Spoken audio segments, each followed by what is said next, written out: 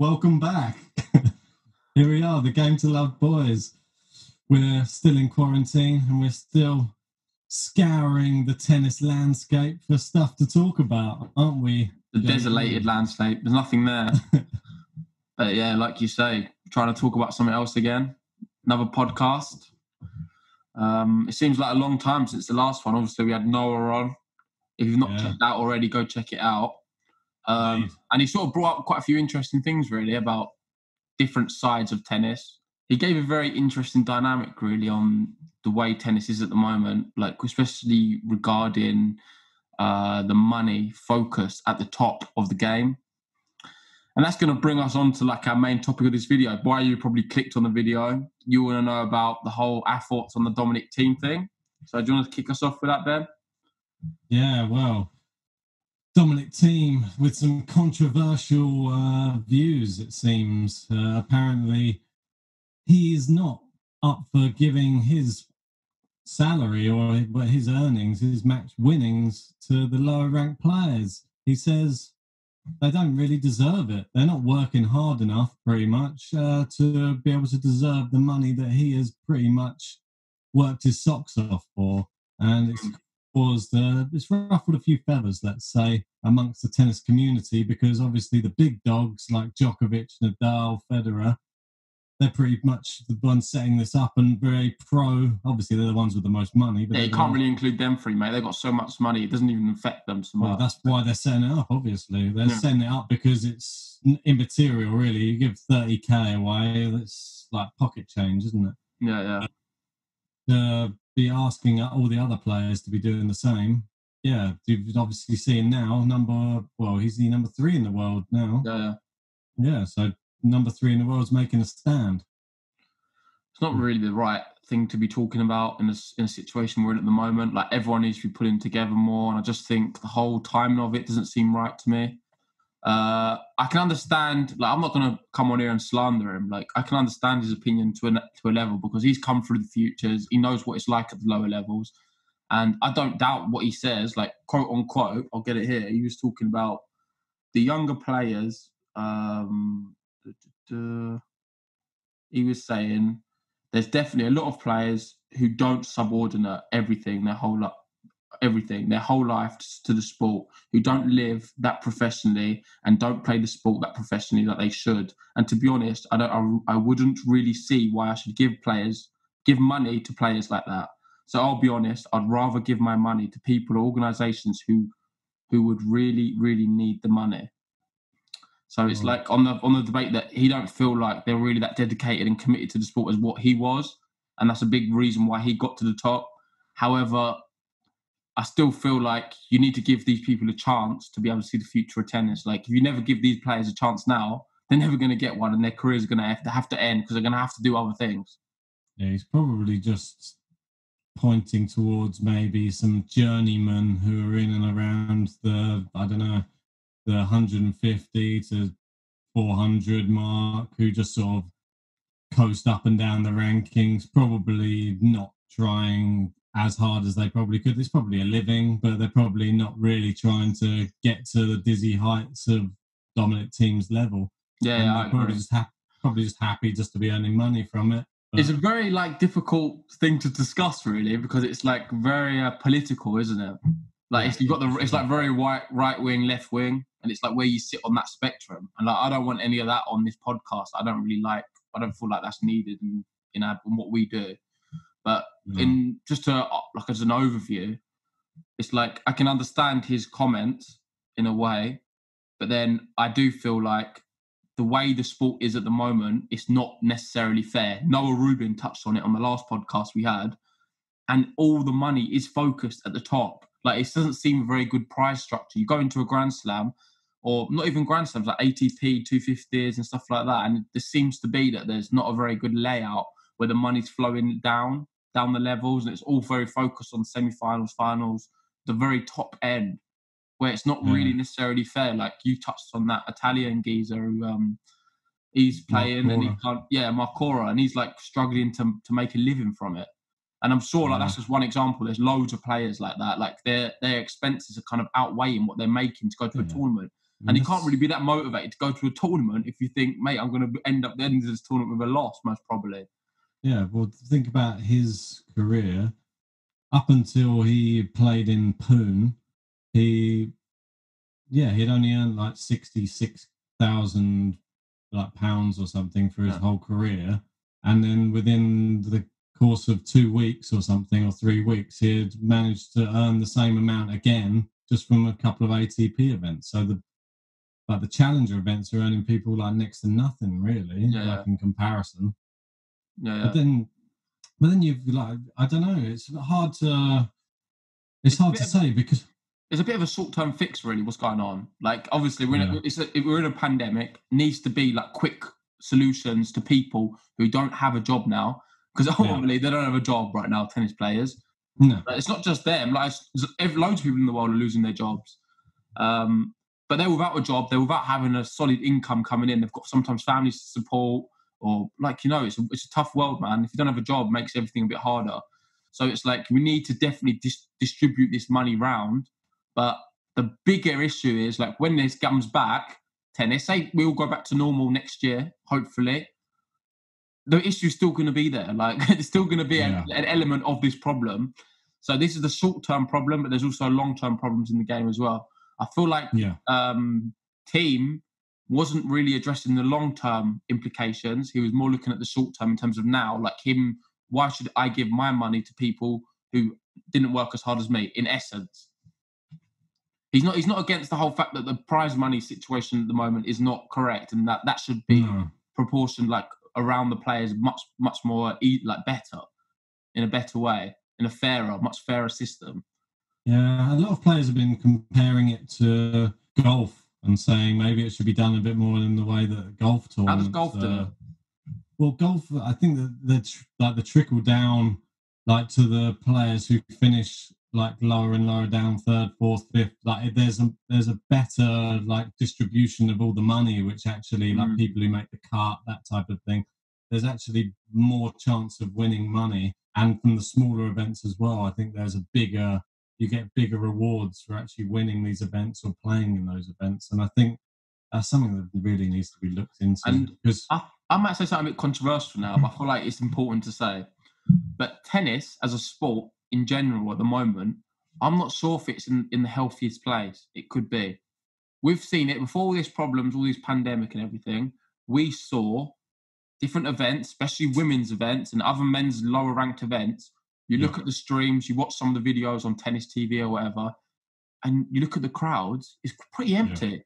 And for a sport where the quality, I feel like the quality across the board from say 100 to 500, 600 is actually pretty high. Like I was watching, like, it's very extremely high. Like the Yeah. level is incredible, and like what only separates them is sometimes just a different mentality, maybe a different physical presence, or something something that I would want to say, uh, yeah, that highlights it. Uh, well, if we look at one of the players that we were following, like really strongly, Ruusuvuori, you Yeah. see that that is the type of person nobody knows about. He Yeah, comes not, up not just against nobody knows about. If you watch Ruusuvuori on the streams, you look around, it's empty. no, but, but that's what I mean. He played Dominic Thiem and beat Dominic Thiem in straight sets, but everyone knows Dominic Thiem. No one knows Ruusuvuori. He beat him. He Yeah, that's natural, man, because of where he is in the ranking, and Dominic Team of what, obviously what he's Yeah, achieved. but that's what I mean. But there's no. That's what Noah touched on last time. He said I'm just not sure that tennis is in the, they're not in the big- best They're place. not, they're not bigging up the players are enough. No, no, no, for sure. And that's where like behind the racket is like a brilliant thing. Hopefully that can encourage more fans. But in essence, I feel like something I'm not sure. I don't have all the answers. If I had the answers, mate, I'd be working for the ATP. But Yeah. it's like Maybe I will, think something needs to change. I don't know, maybe. I'll, apply. um, something needs to change where like there's also talking about the ATP WT merger. Is that the answer? Do you reckon having one unified sort of organization would enable a different marketing strategy to be employed where more people are able to come to the sport? Would it attract more people? Are people going to be more invested in the sport? I'm not necessarily sure. I thought it was a brilliant idea at first. The more I've looked into it, I'm not so sure now. I think it's uh I think having two two different entities, it takes it like sort of uh allows they sort of can feed off each other in a way.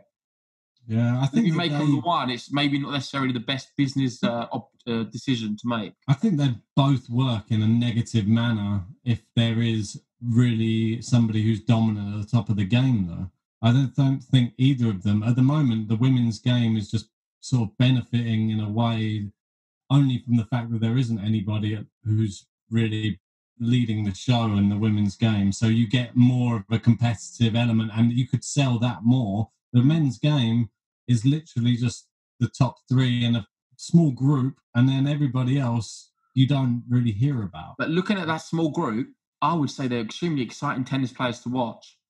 I love watching their matches. Like a lot of the players Yeah. in the top 100, top 200, they're extremely talented players.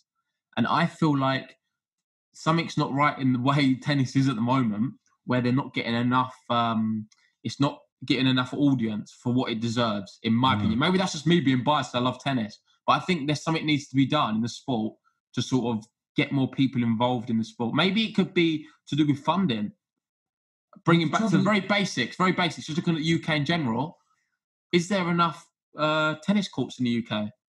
Would that help people's love for tennis to grow? If there's more tennis, if more people playing, you look at Spain. There's like courts every everywhere. I think that one of the real problems is with getting people to watch tennis is everybody's solely obviously focused on the grand slams all the time obviously they're the main ones that's when the most of the people start watching Yeah, the, the, the not the real fans though, like No, no. the, the passive sort of fans. but you what we really need to work out is how many real hardcore fans are there and that I don't think there's. I think that's that's what I'm trying to aim at. Like I feel like that needs to grow. That side of tennis. Because I think that there's a lot of people who play it, but are there even those players that interested in watching challenges or watching like ITF matches or seeing players being built up? But they they don't if they don't introduce players who are someone like Alcaraz Garcia or Ruusuvuori or Jamino Valero, these like Mhm. 18, 16, 18 year old plus, them growing up, there needs to be something done about it because other sports promote their superstars that are coming up in such Yeah, a different way. Can you see how this is linked? Sort of the prize money issue and and the whole. It's basically basic economics. If the the, the higher the demand, the better, isn't it? In terms of like, Yeah, it's the, the demand and supply. So if you have more people watching it, in theory, it's going to generate much more money, which is then allow, going to allow the players to have more money shared shared between them, and then allow the sport to grow. It's important that the sport grows, and Yeah. well, I'm not saying it's gone stagnant. Of course, it's not. Like tennis is uh, probably, I'm pretty sure it is growing, but just not maybe at the rate I would like to see it growing. And I think changes need to be made to enable that, whether that's more funding from governments or getting kids involved in tennis more. maybe Um, like the Like little things like that. It was going to. If you're playing tennis, I feel like it's a, it definitely helps where the fact that you can appreciate the difficulty of the game. Because mate, when you're new to tennis, yeah, do you know how difficult it is to get the ball over the net? Exactly. so it's a very typical. It's a very uh, fine sport, and it's amazing. Like the level watching, say like Nadal, Federer, Djokovic, all of these guys playing tennis. It's like it's an art, and I feel like so many people would appreciate it more if they was involved in tennis. Well, think about how many tournaments Causing the there are. to grow. Yeah, Yeah. well, exactly. But think how many tennis tournaments that you see on TV or on tennis TV, or even some of these women's tournaments, which are WTA events where you have empty stadiums and they're Yeah, finals and semi Could there not be something done where they actually offer like tennis clubs, like there people there free tickets to go and see the because there's so many spare people would go and watch if they don't have to pay for it. So at least you would get people in watching it, and like that would be a way to spread the word a little. Well, that's what they do do for like the Challenger Tour and stuff. A lot of the Challenger Tour events. If you didn't know that already, if you're watching, you can go on the ATP Challenger website and you can literally go and get tickets for free for all these places. A lot of them time you just turn up at the at the box office at the event and you can just go. Nothing, nothing. You sit on a little. uh It's not going to be the most luxurious of place, but like a bench. It's a very pretty location. Some of these challenge events are held in, and um, you see them brilliant tennis. So I don't see why not. Why you wouldn't want to do that. But like you say, some of the bigger events, maybe they could do more things like that, offering free tickets and stuff Like like for that. the women's, I think, especially because I've noticed in some of the women's events, you'll have. Well, we had that one case where we had our girl Heather Watson. She was playing in the final in Acapulco, and there was like an, a third of the stands were filled. Uh, and then as soon as she was finished, Rafa comes on. Obviously, the whole place is you couldn't see a spare seat. So it's just there needs to be something done just to get people filling those seats. Mm. I don't know how It is you. tricky. It is tricky because at the end of the day, you're always the best players. Are always going to sell out the most. It's going to be easier to sell them seats. You know what I mean? It's not really Yeah. like, but like there's a lot of brilliant players who are lower ranked, and you can watch just as an exciting match. Maybe not at the same level, but it- there's ex- extremely exciting matches. Do you not think they're suffering though? That these young, these lower ranked players suffering because if there's no one there, no one's paying. They could probably get less money if there's nobody there watching. I don't know. Maybe they would get more money if there was more people watching the event. Yeah, no, well, of this- course, of course, it's going to work like that. Not in, not directly, but that will, that will. The more people watching, Yeah, the better. eventually. But that's what I mean. Like, and how do you expect these younger players to grow and to actually, if there's no money in it, or yeah, but these younger players as well. We need to put a bit of. um I'm going to put a bit of Thiem on this. They need to prove themselves as well. Oh yeah, for sure. They need to be able to. You need to be able to play with no one there and show what how much grit and determination you want to get to. Yeah. I think that does make you as a player, and definitely did Thiem did go through that because I remember watching him play him when he was a nobody, and he had he always had more. He just seemed to have the, more drive than any other player he played against. Whether he Yeah. whether they were better than him or he was better than them, he seemed to just have the, some crazy drive. And like a lot of other pros talk of him as like his mental edge is like next level. However, we've seen recently the frailties of his mental edge in terms of getting to the big tournaments and sort of bottling, as per se, big moments. But that's going to come hopefully with him. Um, like back to the issue of like, what can we do? You say fill the stadiums with just free tickets and stuff. What other uh, options are there? You reckon? Because uh, another thing, this is my opinion. Do you actually think that tennis is in need for um, like a I think it needs revamp? shake-up. I think it needs a shake-up of some description, just because. But why? What what, No, what was you to that conclusion? Is it to do with the prize money thing or No, uh, I think that no one's really thinking about life after the big three, and I don't think anybody's thinking about the life after someone like well Serena Williams. But like those big names, when they're gone, we need to start making something like for the future now. Otherwise, when they go and they all retire, we're going to be left with people who no one are really interested in, and the whole sport is I- uh, in jeopardy. I have I have one idea. I think the power of technology is something we can utilize like like greatly in this situation. So we're in a, we're in a time where technology is dominating everything, mate. Look what we're doing now. We're doing a podcast over Zoom. Technology is there. What we need to have is like you see with like football and Premier League and stuff like that. It's just more broadcasters. That's where the money's at. More stuff on Sky. Why don't they have lower Yeah. lower ranked events on Sky or BT Sports? These pe- these companies who have the money to be able to show, or, or not even that, even something a bit more forward thinking. Amazon, Amazon Prime Video. They recently covered the Premier League over Christmas time, they have Day. some tennis on them. Yeah, and they have some tennis, but I feel like they can. They did do. They have a lot. They have a few women's matches as well. Because I was watching Yeah. them. But that's something which I think can can definitely grow, and there needs to be more of it. Because know, people, if they're watching it and they get involved in it and they see how amazing it is, then it's just down to the tennis players to perform. They're on the pedestal. Then they, then it's all up to them. Yeah, but it's all down to the ATP and WTA and their promotion but how they promote the players. Because if somebody turns up on a, I don't know, on a match sheet, and then you just flick over onto Amazon and it says Ruusuvuori is up against, I don't know, Bachinger or someone. Yeah. Like, if you don't know who either of those players are, you're going to click on it? No, That's probably the, not. That's the thing. And that's the then problem. hopefully they will click on it.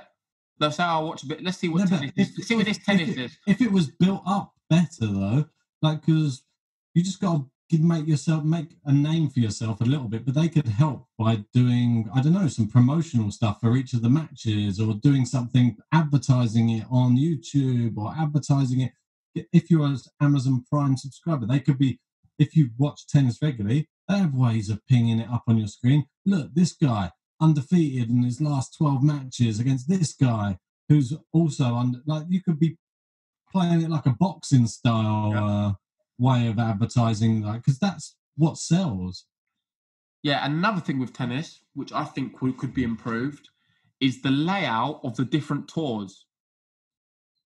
yeah So you've got like the the ITFs, the ATP sort of uh, main draw, and the Challenger uh, ATP Challengers. Yeah. Yeah. With that, I feel like there could be sort of one uniform, unified sort of ranking system. Actually, I don't know because I like I, I do like the ITFs. I think that is good because it sort of encourages growth and it like yeah it, it- it's good to have that, but I'm not sure exactly. I've not really thought about it, but just have a better system where viewers are able to sort of know where that player is at. So more Yeah. visibility at what level they are, so they can look at say the like of a Ruusuvuori and they'll be like they'll see that he's like he's at this kind of level and he's playing in an ATP 250 tournament, or what does that mean? Or he's playing in the Challenger. What does that mean? They're just people need to be educated more about the different to- tennis uh, tournament types and things definitely. i think there's like I didn't know, I didn't know until that long ago, to be honest. And I it's like, disconnect about the points system. I don't think people even really understand how the points work in tennis. A lot of the people who are just watching it. exactly that's what I'm saying. So something needs to be done there to sort of simplify it. I'm not sure what, and maybe if they had an ATP WT merger, they could they could sort of look upon this and do something around it. But I feel like that personally, like I don't want to be sound stupid, but a more simplified game and simplified everything will definitely help people. It's Yeah. natural, mate. People don't want to be watching thing and trying to work out what's going on all the time. No. Well, that, that's that's why the, a lot of people just tune in. Because you have tennis all throughout the year, but people don't know about that. They don't know about the Grand Slams. They're thinking, what's the point of them playing that? What's this for? Is it just like a, a one-off game? Is it just a Well, people- friendly? like, What is it? They don't they don't know what's going on. If they was getting involved in it, they know what's happening. I think that would be brilliant. I'm not sure exactly how to do that, but I think they can utilize technology to be able to do that, maybe through marketing and the way they sort of broadcast them through like all these streaming services we've got now. People can watch it on their phones. Well, Yeah, yes, that's what I'm saying. Like, there's so much different opportunities, I think, and I don't just- feel like they're really up with the times. well, if we get well, if we get to speak to a few uh, players in the upcoming podcast, so we've got a few, a couple of players lined up ready. We can uh, speak to them and touch on this and see their views on the whole situation. Because uh, I think it'd be very interesting to get it from a player perspective as well, just to see what if they feel that they're being mistreated or they feel that they're not being promoted in a in the right way to actually get them to the best level that they could achieve. Mm. Uh, well, yeah, we'll we'll see. That, we sort of spiraled off there. We're talking about Dominic Thiem. So quickly, just to touch on that, what was actually what's your opinion on his comments in like a few in like a few sentences or whatever? Well, you see, I see where he's coming from. I mean, I don't think it's really in the spirit of the whole thing. Really, at the moment, I think the way way everyone's been hit, I I think just go along with it for now. And like, if he's only been asked to donate thirty k or something, No, it's not 30k. It's less than that, I believe. Oh, was it less than that? That's what I maybe mean, just 30, no, maybe no. Sorry, it's, maybe it is 30k. But this is what I mean for somebody who's He made a lot of money come- last year as well, but I don't think that should be. Oh, just because he's done shouldn't be, really well doesn't mean you have to pay more. But I'm, no, I'm not saying he should have to pay more. But I'm just saying he's only been he's been asked to pay 30k. He probably made the final of the Australian Open. Yeah, and I agree. I don't it's think really- it's a good look. I don't think it's a good look personally, and I think that he should be very forthcoming with that money, regardless of his comments about people's attitudes on the on the lower down. I think he should be given that money, and I think that is in a time like this. We're talking about all the other problems in tennis. That is something you need to be doing. yeah. It's a I mean, of kind of a duty as a like a. He's like the face of the sport in a way. He's up there as one of the. He's he's, he's up there as one of the best, and he needs to be be- setting an example for the younger players to be doing be that. fair as well. Like, no matter how hard he worked when he was he he is still at one point in his career he was still ranked 200 300 400 in the world at one point no matter how hard he was playing Yeah. and if he thinks that if this happened during when he was playing he wouldn't have appreciated somebody doing it for him then i think it's a bit uh it's a narrow minded to be honest if he was we wind back six years or whatever, and he was listening to number three in the world saying the same thing, I'm sure his opinions would be very different to what they are now. Well, And that's the last thing we can say on that matter, I think. Yeah, I think so. Yeah, let's Uh, move away from that. Yeah. Did, you hear uh, Andy Murray's back in back in the winning column there with another tournament win? Yeah, go on his Did go well, on his mate. record? Yeah, who did he beat? Goffin in the final, was it? I think it was Goffin. I know Tsitsipas was playing well in it. Oh mate, I can't really comment on a video game tournament, but it seemed like it looked quite fun. What's this, it, I what's this video game as well? It looked like the crappiest video game I've ever. No, it, it looked quite good. Like some of the No, the shots were quite impressive. No, but the actual game itself, I've played on PlayStation games that looked better than that about ten years ago. yeah, know, like it looks- ATP Mutua, something or another. It's a Spanish. It's all, it looks so. It looks so old school. Like we're supposed to be like up in technology these days. It looked like one of the worst games I've ever seen. But There's not really a good Murray. game out there, really. no, that's what. That's another thing. gap See, in the market. Exactly. I'd probably just promote the big three again. No, that would still help tennis. That would, uh, kids playing tennis games. There's loads of things what can be done. Like it's, it's there's a lot of work to be done. Since virtual Sure. tennis went, it was. But mate, it says a lot about Andy. Murray anyway. What's he doing? Winning? He must be playing a lot of video games at the moment. Then. Rafa was giving him a lot of stick as well because he was going to bed at nine o'clock because he had kids, and he was like, "Well, he's like, I can't play any later than nine o'clock because I've got to, uh, oh yeah, yeah, I saw that. Got to be up early in the morning." That's after like. Rafa got the video thing working. He's not really Oh, on the technology. I'm surprised he was able to play the game at all.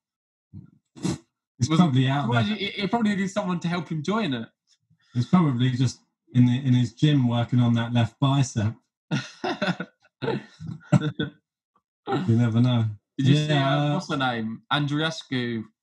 Yeah, I did. She was warming up in her front room once she. She Yeah, had all the gear. out like music, mate, and then she pulled out her bag, the the, the controller.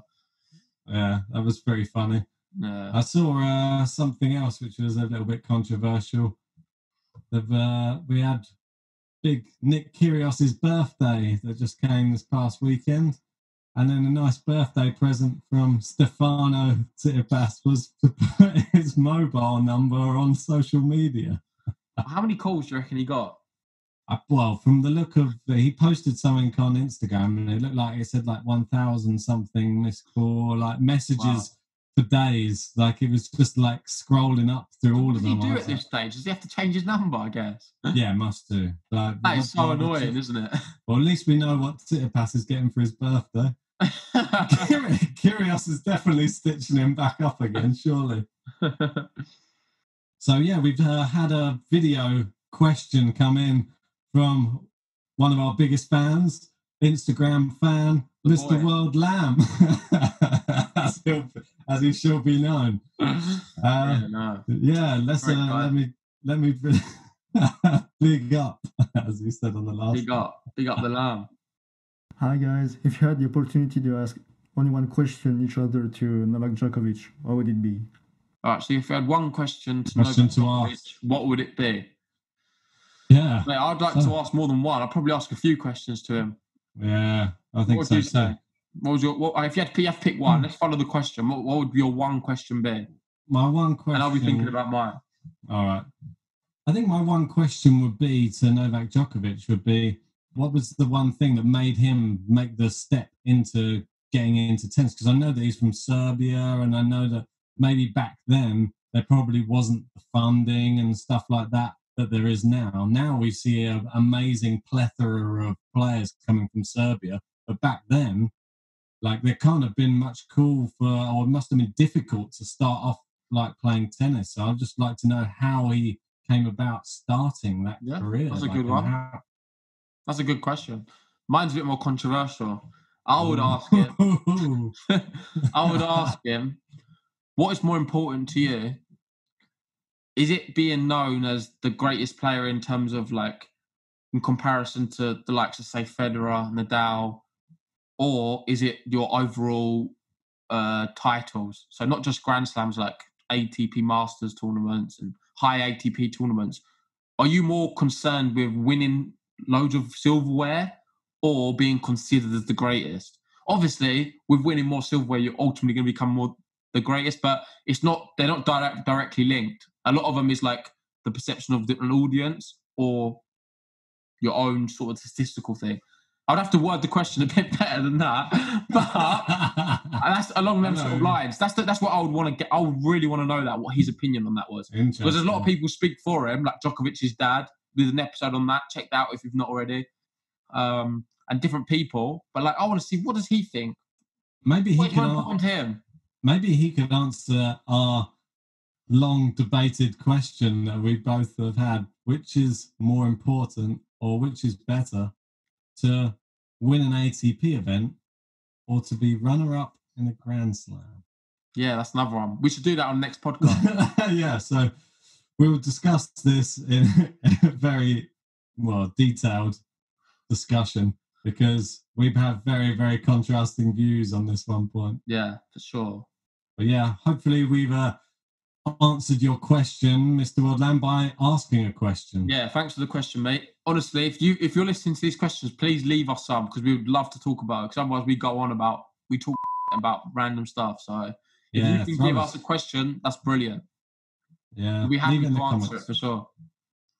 Indeed. Yeah. Anything you want us to talk about, just leave it in the comments below. Or if you don't want us to leave on the comments, send it on either Instagram or Twitter or whatever. But yeah, that'd be great. I guess we'll wrap this one up. Not much more else to talk Yeah. about. I hope you enjoyed it. If you've not subscribed already and you've made it this far to the video, please subscribe.